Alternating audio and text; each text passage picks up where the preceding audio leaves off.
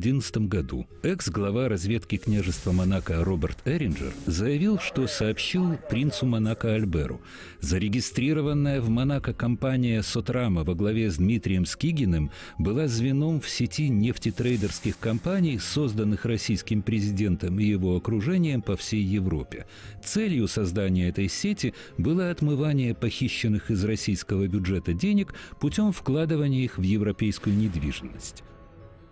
Позже уволенный со своего поста Эринджер заявил, что принц Альбер был подкуплен президентом России Владимиром Путиным и потому не только игнорировал подобное сообщение о деятельности русской мафии в Монако, но и отдал свой голос за Сочи как место проведения зимней Олимпиады в ранге члена Международного Олимпийского комитета.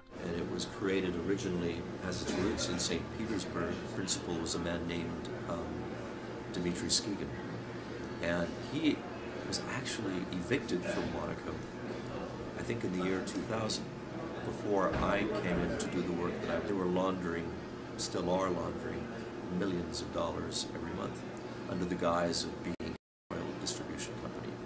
Dmitry Skegan uh, died of cancer and his two sons took over the business, although their presence is rather nominal because there is a whole machine that, that was formulated uh, that had nothing to do with the Skigan family, but that had everything to do with the Russian mafia, including um, President Putin himself. Основатель разведки княжества Эринджер подал иск против принца Монако, в котором утверждает, что каждое из своих обвинений в адрес к принца и Путина готов подтвердить имеющимися у него документами. I do have certain documents, and I do have excellent sourcing.